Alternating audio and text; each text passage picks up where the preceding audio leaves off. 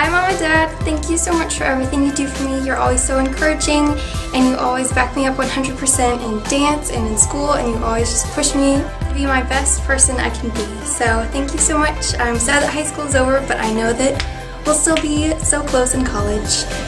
I love you so much.